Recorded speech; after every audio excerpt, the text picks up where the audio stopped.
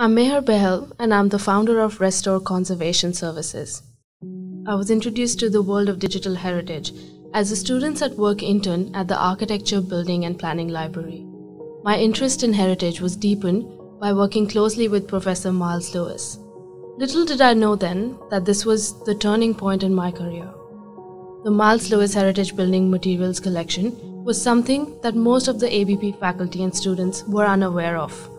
It sits in a quiet corner on the third floor of the MSD building, out of everyone's sight, and is rarely ever accessed. When I was told that I was going to be a part of the project to digitize this collection, it was exciting for me as it was not just focused on creating 3D models of the objects, but also making them globally accessible. I had very little knowledge about this collection. I was initially tasked with creating the metadata for the objects, which meant getting to know the collection inside out Unlike most cultural collections, the original curator of this collection was around to answer a lot of the questions. Professor Lewis's illustrated lectures and Australian building database available on his website were extremely helpful in filling in the blanks.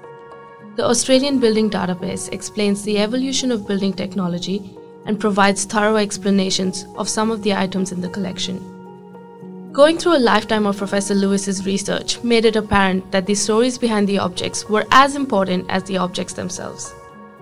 As this was the first 3D scanning project at the University of Melbourne at this scale and dealing with an architectural collection, there were not enough established standards of description. This offered the chance to create standards specific to the project. A constant question for the team was how to take this collection from something that has been closed off in a cabinet for many years and convert it into a highly accessible resource for teachers, students, researchers, and professionals. The target audience was varied, and so was the intent of the collection post digitization. It was important to capture the usual fields such as name, size, manufacturer, and the like, but it was also important to capture what made each object unique by capturing the materiality, the inscriptions on it, its conditions, and more. There were several stakeholders involved in the project, and even though everyone's roles were clearly defined, the digitization process needed to be streamlined. A workflow was devised to track the progress of digitization and was incorporated within the metadata spreadsheet, which involved adding the location of each item within the cabinet, adding the progress of digitization, that is not scanned, awaiting scan, scanned, or scanned and back to the cabinet, and adding identifier images of each object. As a result, it was easy for any stakeholder to track each of the objects and access them accordingly. This also helped make the collection physically accessible. The need to increase the accessibility of the collection grew as the project progressed. Initially, we decided to record a series of videos explaining the background of the collection. The purpose of these videos was to chart the evolution of the use of common construction materials and techniques within the Australian context, and to understand global influences on Australian architectural methods, situating these objects within that context. Several videos were recorded with Professor Lewis, explaining aspects of the collection object by object.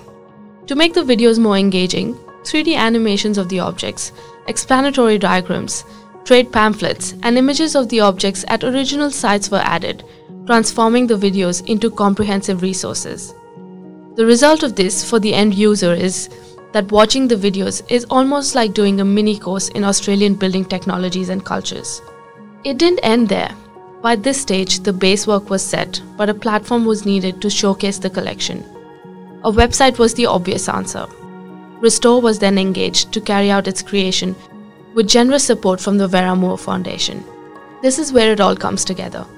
The 3D scans, the videos, the backstory, and all the extensive behind the scenes work.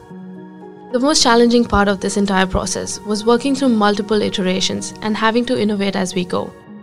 The future of digital collections relies not only on the digital objects but also on their metadata. The whole team believes that the project presents itself as a powerful resource for students, teachers, researchers, architects, historians, and collectors, and sets a great precedent for other such collections.